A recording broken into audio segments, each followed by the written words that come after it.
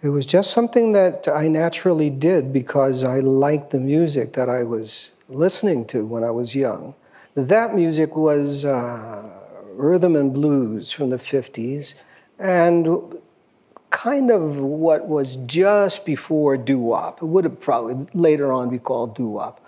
The thing that was great about it was that most of the songs from that era were all written to the same chord structures. So I'll give you an example.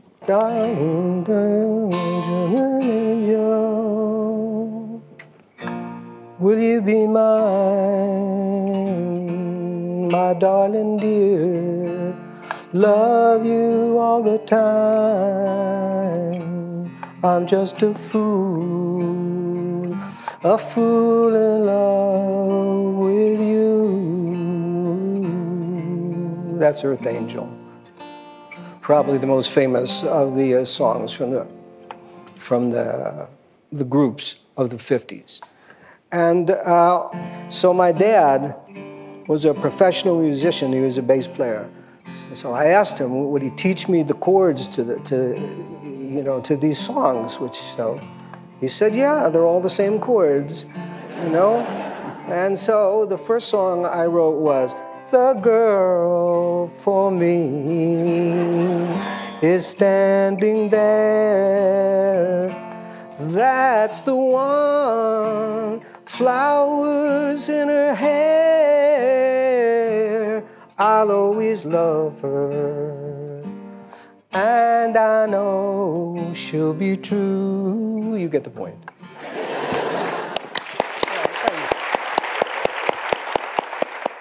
Well, the songwriter that I am now is very, very different from the songwriter that I was even in the 70s. And that writing was different from what I wrote in the 60s for Simon and Garfunkel. And before that, when I was doing imitation of teenage stuff, that was, that was another way. Then I just wrote the songs. I didn't, there was no need to separate the music from the words. They all came at the same time. Also, when you're young, and uh, you're writing, there's really no problem with the words because you don't know anything. So whatever you say is fine because you don't know anything.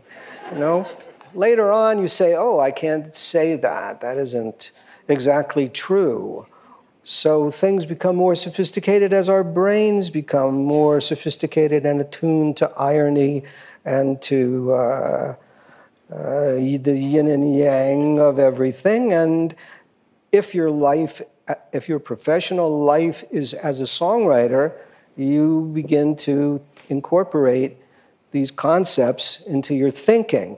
And when I started to do that, I found that simply playing the guitar and improvising over it, like, look, this is the way most songs begin when people begin playing, okay? They go. Well, I'm just here and I don't know what to say So I'll talk about the girl who I love who doesn't exist. Uh, well, that's why I wrote a lot of hits in the beginning. and now I can't write one for, you know, for anything. The, the big change came with Graceland even before I, you know, went to South Africa and even before I fell in love with South African music, I really felt like I don't want to go into the studio and have a song where the track isn't equal to the song. So one of the famous songs on Graceland is called uh, The Boy in the Bubble. So that was recorded with, uh, with an accordion player who came from a little, a little country within South Africa, a country called Lesotho and he played a certain kind of certain kind of music, Sotho music, and that was the boy in the bubble. In that session, you know, we just let the tape roll, really. So one of the tracks that existed there, I, he, that he played on, I said, uh, you know what? The, I don't really like the, I don't really want the accordion on it. The only thing I really like on this track are the drums. So let's just keep the drums. So we have we have that track. I can show you. So this is the track that was recorded on the on the same day I recorded Boy in the Bubble. The day before I recorded Graceland, where I said, "All I want are the drums." So here's the here's the accordion track.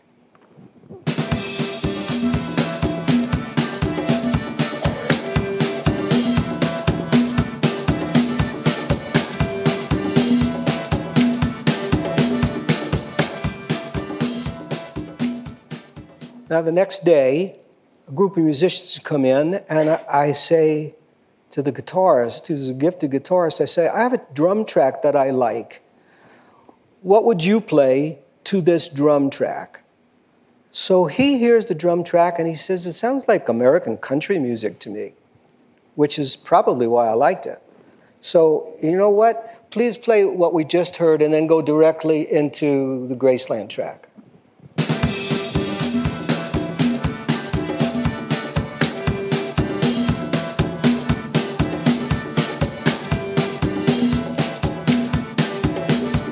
Pretty good. Yeah, it does.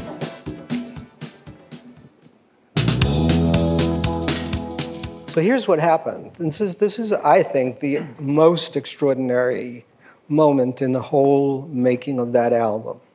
The guitarist, his name is Ray Phiri, and he's playing his this stuff in the key of E.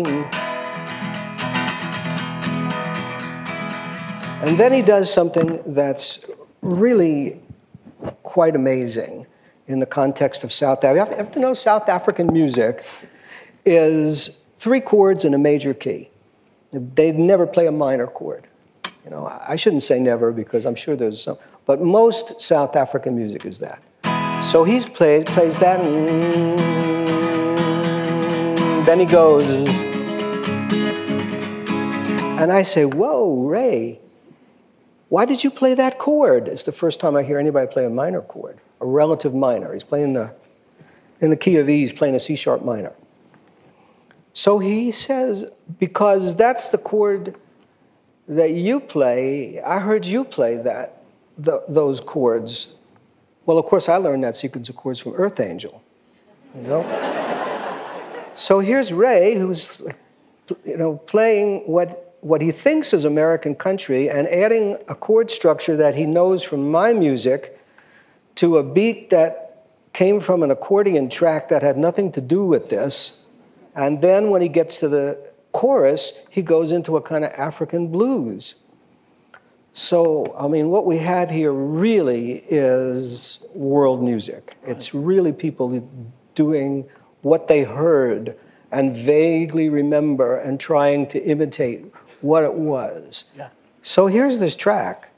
I, the track exists, and I don't know what its song is about, and I'm singing, mm, going to Graceland, Graceland, Memphis, Tennessee, I'm going to Graceland. And I'm thinking, well, of course, I'm not going to sing that because it's not, a Grace, it's not about Graceland or Elvis Presley or anything. So I'm going to change that and get rid of that. And I can do that because I just have a track, so I can change the words anytime I want, but I can't. I keep singing that and keep singing that. So finally, I go. I say, I'm going to Graceland. I'm going to go there and see what this is all about, you know, because I'd never been there even. and as I'm driving up north on uh, Highway 61, I mean, the opening lines are literally in front of me. I'm driving through the Mississippi Delta, and it just comes, it's just a description. The Mississippi Delta was shining like a national guitar. There are aspects of the creative process that you really don't understand. And that's, you know, part of the great joy of it is because it's a mystery. You don't know why that jumped into your head, but it's not important. The thing about it is, is you say, ah, yeah, I could use that. That's a good thing. And it justifies that I'm going to Graceland. I'm going to Graceland. That's, what's, that's where I'm going. Now the question is so what's the song about? Okay, you got a good reason to go to Graceland. And the reason is the track sounds like it was cut at Sun Studios in Memphis. It's, to me, it sounds like it's a rockabilly track. Then the rest of it was uh, it's just a description of being there, poor boys and pilgrims with families, and we were all going to. These are just everybody got on the bus and you know went to went in. I didn't tell anybody that I was coming. I just bought a ticket and got on the got online and went with everybody else and walked through Graceland.